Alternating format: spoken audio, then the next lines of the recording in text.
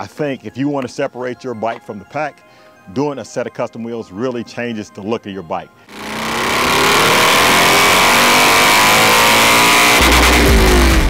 Pack down like my mule, tank full, kick back with my feet up. I twist back and I speed up. Left lane, pipe full, move fast, but it's got more.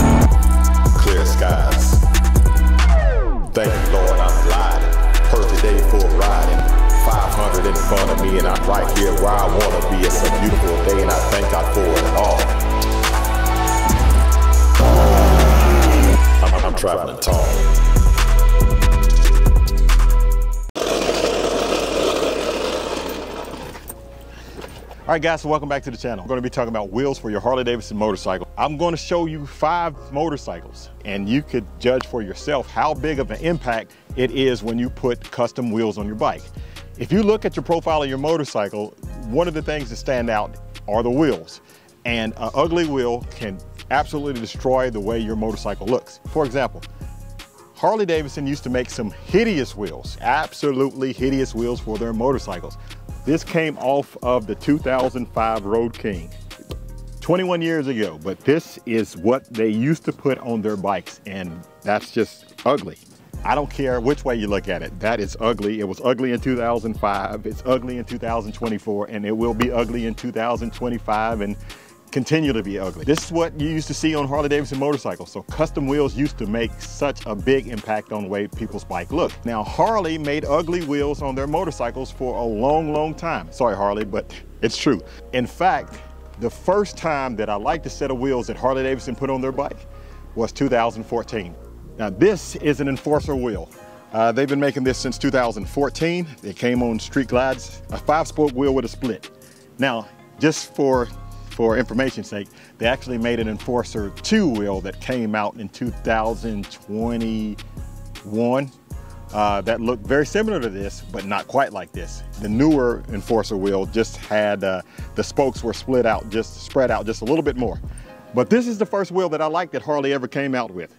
It was decent. I still changed them out for some custom wheels, but um, it, it looked better than anything else that they had before. In fact, a lot of people would take this wheel and get it powder coated. So here's what an Enforcer looks like, powder coated in black. I took this off the front of my 2005 Road King. It looks really good powder coated in black. I've seen them in orange, I've seen them in red.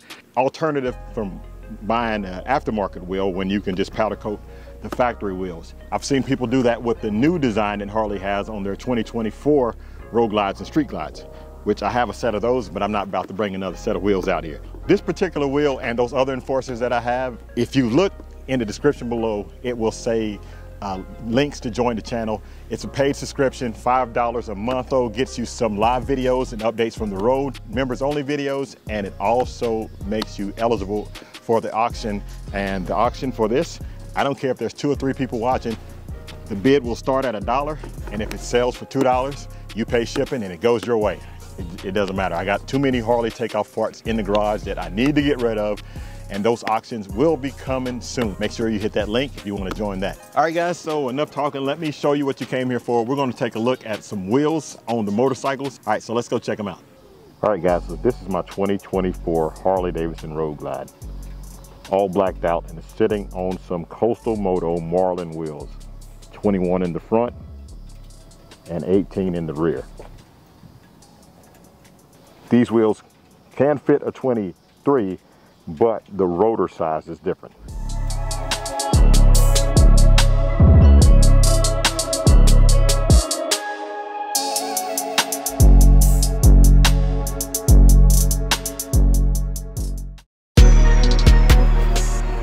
All right guys, now this is my 23 Harley Davidson Road Glide. It's the standard. In 23 they had specials, CVOs and all that stuff. This and STs, just, just the standard black and chrome.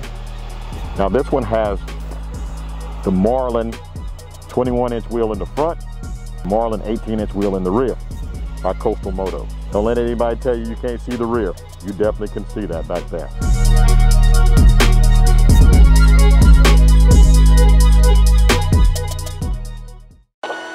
Here is my 2005 Harley Davidson Road King that I call Memphis.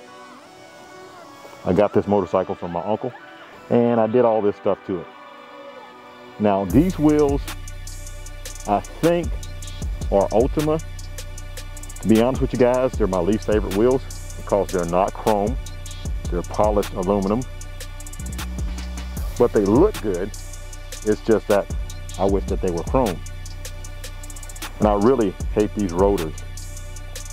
I never got around to changing out those rotors. They look very dated. I meant front brake disc changing out. But I have a 21 on the front of this motorcycle and an 18 in the back. That's the setup that I have on my road glides. This bike still handles very good. 21 makes it slightly more harder to uh, get it off the kickstand because it leans over a lot more. These older bikes had those really skinny tires in the back. So it's like super narrow. You can see that.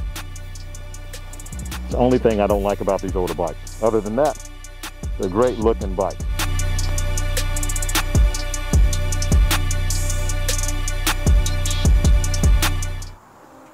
All right guys, now this is my 2019 Harley Davidson Street Glide. And this is the second set, well third set of wheels that's been on this bike. This is the RC Component Laguna lightweight racing wheels. Now these wheels are extremely light. Now on this bike, I have 19s in the front and 17 in the rear. Now I'll tell you why I went with 19 in the front and 17 in the rear. It's because this is my performance bike. It's making 177 horsepower, 153 foot-pounds of torque. I have Galfer rotors in the front and Galfer rotors in the rear. So that big 200 tire underneath, that Shinko drag hookup. And of course, guys, has nothing to do with the wheels, but it is chain drive. It's the second set of RC components that has been on this bike. And RC Components makes great wheels, but these race wheels, aluminum lightweight wheels, they weigh a lot less and they're fantastic for anybody who's thinking about building a performance bagger. So now why didn't I go with carbon fiber wheels? Carbon fiber wheels, you have to go get them inspected every couple thousand miles to make sure there's no cracks or anything in them. So if you're riding with carbon fiber wheels on the road, you're supposed to get them inspected. If they hit a pothole, they can fracture and the next time they hit a pothole, they can actually just disintegrate while you're riding. And check out that Traveling Tall Burn Stainless Edition pipe. Look at that. Check that out right there. You can get that, glidekings.com.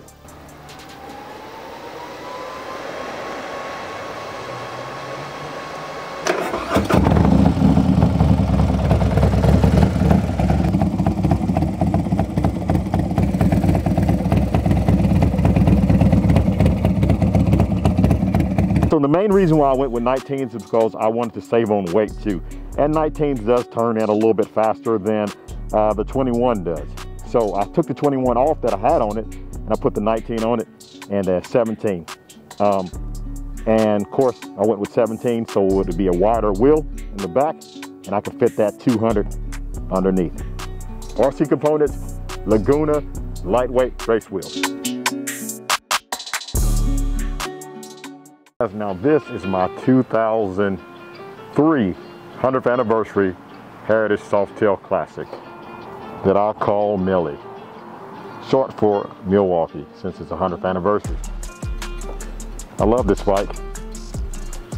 It is, uh, if you haven't been watching the channel, you may have not you may have not seen this one, but I put this one together over the winter of last year. Now this bike had spokes on it, but I got rid of the small spokes, put these fat spokes on there, and I think it looks really good with the fat spokes and white walls on it. Anytime you put fat spokes and white walls on a Heritage, I think it looks fantastic. And of course we had to have the front and rear matching wheels. We don't do that one wheel thing on any bike. You definitely can see the wheel on this bike and it came with the chrome disc. So it took this Heritage Softail Classic from okay to awesome to being one of my favorite bikes. Now, what I found out is they actually make for these small tire motorcycles, four and a quarter. So in the back, I went with four and a quarter. So if I was doing it again, I would take and put four and a quarter on my Road King instead of leaving that super skinny one on the back. When you increase the diameter, it makes the wheel so much more dramatic. And I think it looks really, really clean. Doesn't take anything away from it because it had spokes and white walls. Would have had spokes, but not white walls.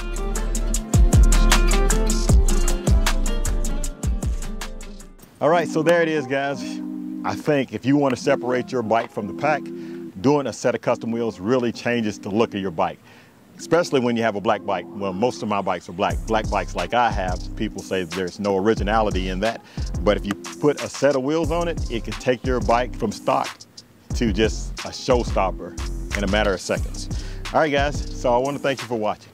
Don't forget, if you want to be notified when new videos come available, hit that notification bell. And I've heard a lot of people hit the subscribe and notification bell, but Next time they went to YouTube, it showed that it wasn't subscribed. So just go back and check to make sure that the subscribe button is hit and also the notification bell is hit as well. All right, guys, thank you for watching. Don't forget to like, share, and subscribe. Keep gliding, and as always, have a blessed day.